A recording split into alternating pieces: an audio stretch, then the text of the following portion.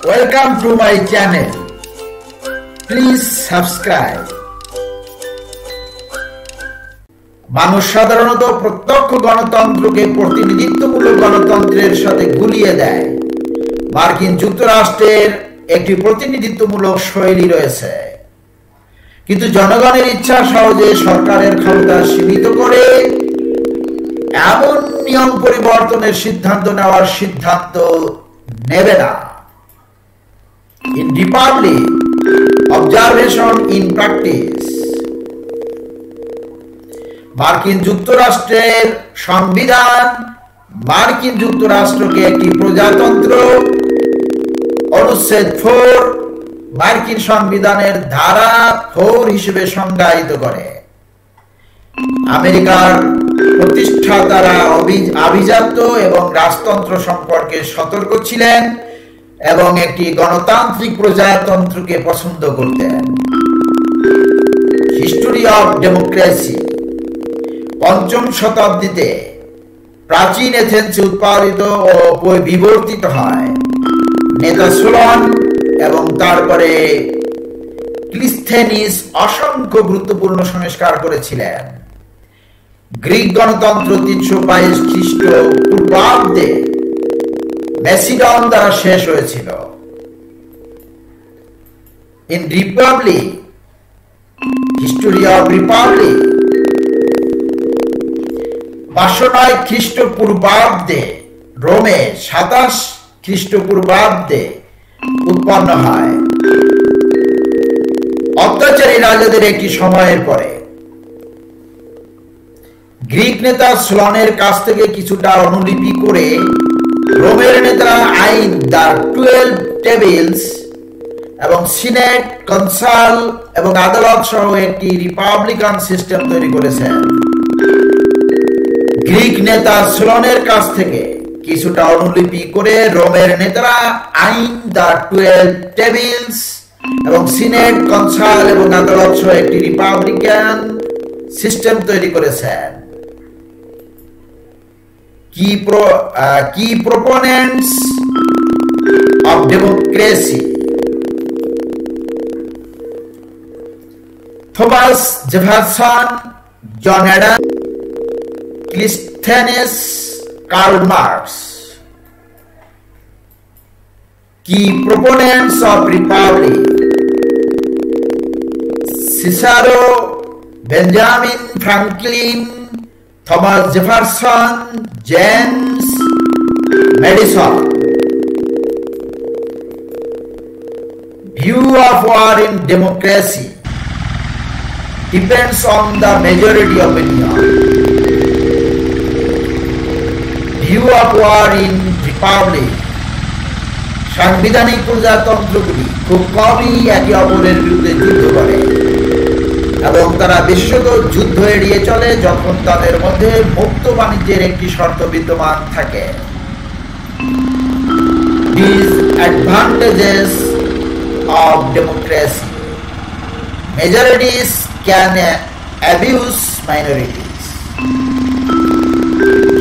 গরিষ্ঠতা সংখ্যালঘুদের অপব্যবহার করতে পারে, অত্যাচার করতে পারে। Republic disadvantages constant debates, deadlocks, অর্থাৎ নিরন্তর বিতর্ক, অচল অবস্থা, are a democracy and republic mutually exclusive একটি গণতন্ত্র এবং প্রজাতন্ত্র কি পারস্পরিকভাবে একচেটিয়া, অনন্য? অনেকে আছেন যারা এই বিবৃতি দিয়েছেন, যুক্তরাষ্ট্র একটি প্রজাতন্ত্র, গণতন্ত্র নয়। এটি, এটিকে গণতন্ত্রের মতো মনে করে এবং একটি প্রজাতন্ত্র পারস্পরিকভাবে একচেটিয়া। তারা সাধারণত হয় না। সাধারণত একটি প্রজাতন্ত্র হলো এক ধরনের প্রতিনিধিত্বমূলক গণতন্ত্র। যার সংবিধানে কিছু নিয়ন্ত্রণ এবং ভারসাম্য রয়েছে যা সংখ্যালঘুদের অধিকার রক্ষা করে। একটি বিশুদ্ধ গণতন্ত্র জীবনের প্রতিটি ক্ষেত্রে সংখ্যাগরিষ্ঠের শাসনকে বোঝাবে। এই জাতীয় সুরক্ষা ছাড়াই in the United States a democracy or republic. মার্কিন যুক্তরাষ্ট্র একটি প্রজাতন্ত্র। যদিও আমেরিকান রাজনীতিবিদ সহ জনগণের পক্ষে এখন মার্কিন যুক্তরাষ্ট্রকে গণতন্ত্র হিসেবে উল্লেখ করা সাধারণ ব্যাপার। কিন্তু এটি প্রতিনিধিত্বমূলক প্রজাতন্ত্রের জন্য শর্ট হ্যান্ড বিশুদ্ধ গণতন্ত্রের জন্য নয়। প্রজাতন্ত্রটি আনুগত্যের অঙ্গীকারে উল্লেখ করা অব্যাহত রয়েছে। যা উনিশশো সালে লেখা হয়েছিল এবং পরে উনিশশো বিয়াল্লিশ সালে কংগ্রেস একটি সরকারি অঙ্গীকার হিসেবে গ্রহণ করেছিল। যদিও ঈশ্বরের অধীনে পরে আইজেন হাওয়ার প্রশাসনের সময় যুক্ত করা হয়েছিল। আমি মার্কিন যুক্তরাষ্ট্রের পতাকা এবং প্রজাতন্ত্রের প্রতি আনুগত্যের প্রতিশ্রুতি দিচ্ছি। এটি ঈশ্বরের অধীনে একটি জাতি, অবিভাজ্য, সবার জন্য স্বাধীনতা এবং ন্যায় বিচার প্রতিষ্ঠা করব। প্রতিষ্ঠাতারা ফেডারেল সরকারের ভূমিকার বিষয়ে একমত না হলেও একটি বিশুদ্ধ গণতন্ত্র গড়ে তোলার চেষ্টা করেননি। আমরা এখন একটি প্রজাতন্ত্রী সরকার গঠন করছি। প্রকৃত স্বাধীনতা, স্বৈরাচার বা গণতন্ত্রের চরম পর্যায়ে পাওয়া যায় না। কিন্তু মধ্যপন্থী সরকারগুলিতে পাওয়া যায়। Alexander Hamilton.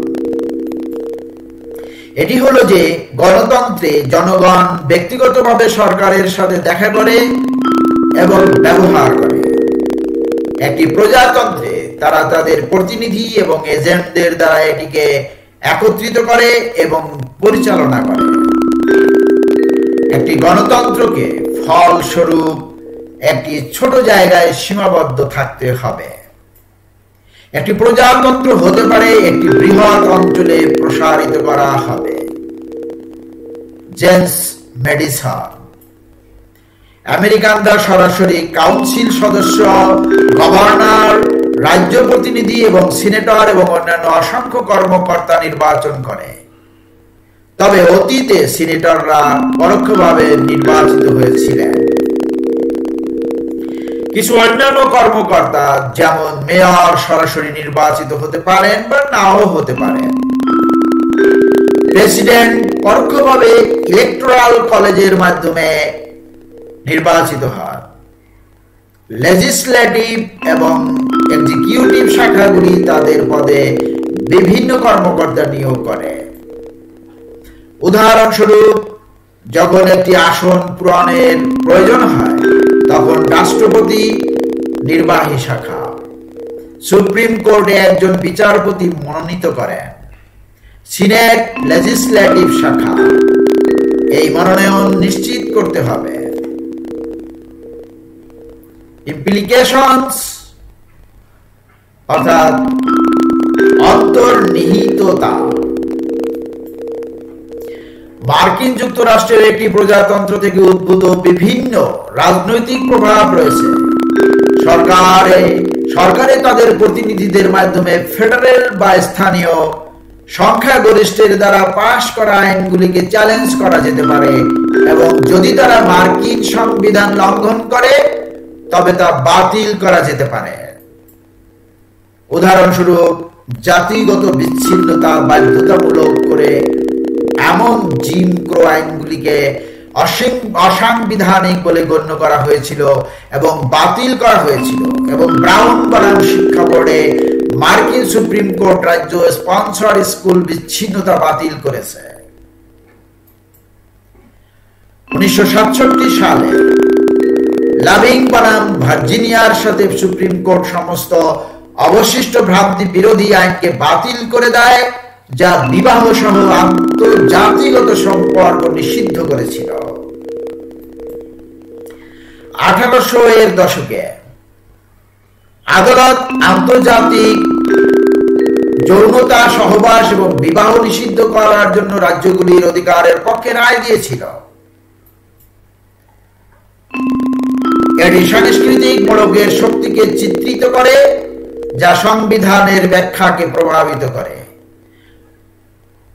সাম্প্রতিক ক্ষেত্রে দুই স্বাস্থ্যসেবা সংস্কার বিল ওরফে ওবামা কেয়ার মার্কিন সুপ্রিম কোর্টে চ্যালেঞ্জ করা হয়েছিল কারণ এটি ব্যক্তিদের স্বাস্থ্য বিমা কিনতে বাধ্য করে।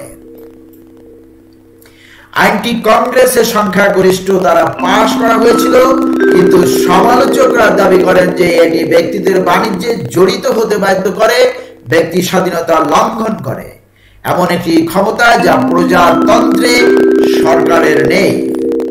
শেষ পর্যন্ত আদালত স্বতন্ত্র ম্যান্ডেট সাংবিধানিক বলে রায় দিয়েছে, তবে রাজ্যগুলিকে মেডিকেট প্রসারিত করার প্রয়োজন হবে না।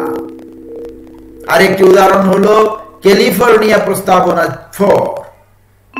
একটি রাষ্ট্রীয় সাংবিধানিক সংশোধনী যেখানে ক্যালিফোর্নিয়ার অধিকাংশ ভোটার সমকামী বিয়েকে অবৈধ করার পক্ষে ভোট দিয়েছেন। আইনের সমালোচকরা যুক্তি দেন যে এটি সমকামী এবং সমকামী দম্পতিদের স্বতন্ত্র স্বাধীনতা লঙ্ঘন করে এবং সংখ্যাগরিষ্ঠের একটি প্রজাতন্ত্রে এটি করার অধিকার নেই।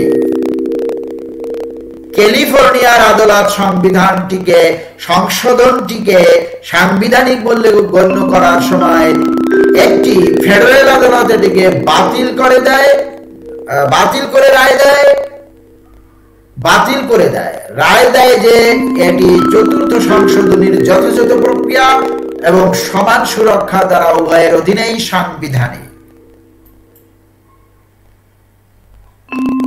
আরেকটি উদাহরণ হল সিটিজেন ইউনাইটেড বনাম ফেডারেল ইলেকশন কমিশন দুই হাজার দশ। সিটিজেন ইউনাইটেড একটি রক্ষণশীল সংগঠন যা ফেডারেল নির্বাচন কমিশনের বিরুদ্ধে প্রচারণার অর্থায়নের উপর নিষেধাজ্ঞার জন্য মামলা করেছে।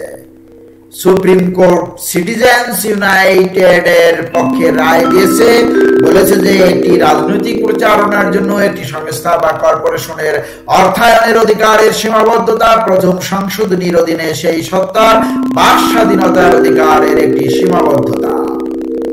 মার্কিন যুক্তরাষ্ট্র একটি প্রজাতন্ত্র না হলে সরকার কর্তৃক পাশকৃত আইন সংখ্যা গরিষ্ঠ দ্বারা নির্বাচিত চ্যালেঞ্জ করা যেত না। সুপ্রিম কোর্ট এবং প্রকৃতপক্ষে নিম্ন আদালতগুলিও কোন কোন আইনগুলি সাংবাদিক কোন আইনগুলি সাংবিধানিক তা নির্ধারণ করতে পারে এবং অসাংবিধানিক বলে বিচার করে, এমন আইনগুলিকে বহাল বা বাতিল করার ক্ষমতা রাখে। এটি প্রমাণ করে যে আইনের শাসন এবং মার্কিন সংবিধান যে কোনো সময় সংখ্যাগরিষ্ঠের ইচ্ছার চেয়ে উচ্চতর কর্তৃপক্ষ। History of democracies and republics গণতন্ত্র প্রজাতন্ত্রের চেয়ে পুরানো বিশ্বের প্রথম গণতন্ত্র বা প্রজাতন্ত্র কোন স্থান বা জনগণের ছিল তা নিশ্চিত করা কঠিন। অনেক দেশ, উপজাতি এবং সংস্কৃতির অন্তত কিছু গণতান্ত্রিক বা প্রজাতন্ত্রিক পদ্ধতি ছিল। উদাহরণস্বরূপ সম্প্রদায়ের বিষয়ে ভোট দেওয়া প্রবীণদের ক্ষমতায় নির্বাচিত করা এবং এমনকি ব্যক্তিগত অধিকার সংক্রান্ত নিয়ম তৈরি করা ছোট এবং কখনো কখনো বড় আকারে ঘটেছে। তা সত্ত্বেও গ্রিসের এথেন্সের সবচেয়ে ভালোভাবে নথিভুক্ত প্রাথমিক গণতন্ত্র পাওয়া যায় এবং প্রায় পাঁচশো খ্রিস্ট পূর্বাব্দে প্রতিষ্ঠিত হয়। এথেনীয় গণতন্ত্রের অধীনে জনগণ প্রতিটি আইনে ভোট দিয়েছে। এটি ছিল একটি বিশুদ্ধ বা প্রত্যক্ষ গণতন্ত্র যেখানে সংখ্যার গরিষ্ঠদের অধিকার এবং প্রগতির উপর প্রায় সম্পূর্ণ নিয়ন্ত্রণ ছিল। সবচেয়ে ভালোভাবে নথিভুক্ত ঐতিহাসিক প্রতিনিধিত্বমূলক প্রজাতন্ত্র হল রোমান প্রজাতন্ত্র, যেটি এথেনিয়ান গণতন্ত্রের পরে। আবার পাঁচশো খ্রিস্টপূর্বাব্দের কাছাকাছি সময়ে বিকশিত হয়েছিল। রোমান প্রজাতন্ত্রের পক্ষপাতী আইনের শাসন আজকের বেশিরভাগ সরকারের জনপ্রিয়। এটা লক্ষণীয় যে রোমান প্রজাতন্ত্রের একটি অলিখিত সংবিধান ছিল যা ক্রমাগত পরিবর্তনশীল নীতির সাথে খাপ খাইয়ে নিচ্ছিল। ডেমোক্রেসিস অ্যান্ড রিপাবলিক্স টুডে গণতন্ত্র শব্দের সাধারণ ব্যবহার এবং গণতন্ত্র ছড়িয়ে দেওয়ার আকাঙ্ক্ষা সত্ত্বেও সারা বিশ্বের বেশিরভাগ দেশ আজ প্রজাতন্ত্র হিসেবে শাসন করে। যাই হোক, প্রজাতন্ত্রগুলি ব্যাপকভাবে ভিন্ন কিছু কিছু রাষ্ট্রপতি তার পদ্ধতির অধীনে কাজ করে। যেখানে জনগণ সরাসরি বা প্রায় সরাসরি একজন রাষ্ট্রপতি নির্বাচন করে, যিনি সরকারের প্রধান, একটি সংসদীয় ব্যবস্থা। যেখানে জনগণ একটি আইনসভা নির্বাচন করে, যারা নির্বাহী শাখার সিদ্ধান্ত নেয়, এমনকি সাংবিধানিক এবং সংসদীয় রাজতন্ত্র, যেগুলো প্রজাতন্ত্রের মতো আচরণ করে, কিন্তু প্রায় রাজকীয় ব্যক্তিত্ব থাকে।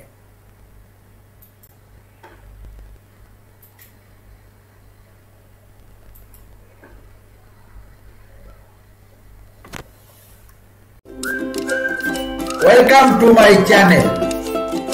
Please subscribe.